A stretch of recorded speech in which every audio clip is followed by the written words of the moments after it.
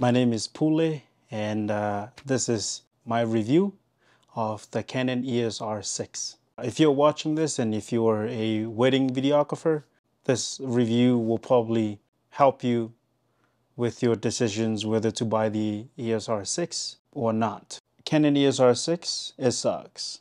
Honestly, it sucks. I've I bought the camera and I filmed four or five weddings with it.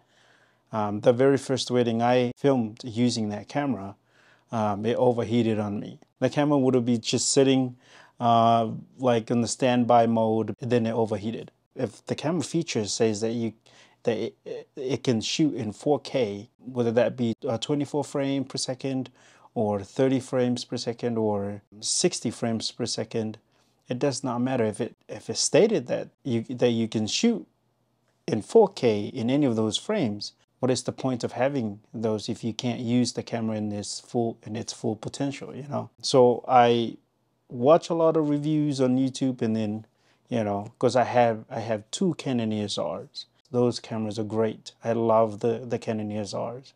And then because I saw other reviews regarding the overheating issues, so I went ahead and researched a little bit more, watched a bunch of other YouTube videos regarding of how to overcome these issues. And most of the reviews says that if you use the Atomos Ninja 5 with a V-mount battery, that you will be able to um, to overcome the overheating issues.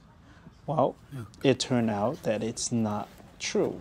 It does not overcome the overheating issue if you shoot in 4K. And it does not matter whether that be 24 frames per second or 30 frames per second or 60 frames per second in 4K mode, that camera will overheat. It will overheat. So my suggestion is to, if you if you're watching this and if you are a uh, wedding videographer and you like to shoot in 4K mode, you know, up to 60 frames per second or more than that, I will suggest to buy something else like the A7S3s or uh, the Canon EOS R5C that just came out. So what I did, I don't have the camera here with me, but I'll show some footage of, uh, of the weddings I shot with it. And one particular wedding, I actually took a, a little video on my phone of when the camera overheated on me. Okay. I already sold the camera on Monday, I think. Monday I sold, yeah, Monday I sold the camera.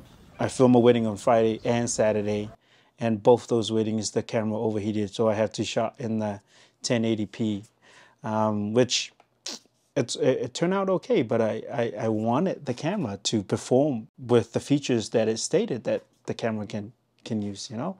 So I went ahead and sold the camera because I'm like, I'm not gonna uh, keep this camera. Weddings are very important event to the couple, the wedding couple, and uh, the moments that you you get to capture during the wedding, uh, these moments are very special to the couple, and these moments cannot be repeated. It, once the uh, the bride walks down the aisle, that you cannot repeat that, and if the camera overheated on you, on that time and like during that time it's it sucks. You won't be able to capture all the footage.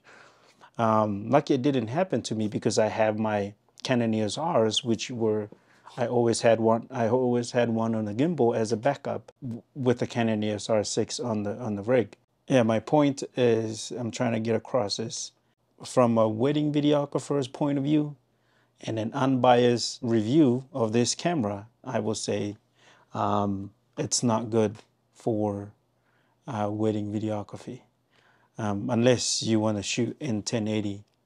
Uh, but if you want to use the camera to its full potential, which is shoot in 4K, uh, the camera will overheat on you, whether that be without a rig or recording externally to an Atomos Ninja 5, it will still overheat in you.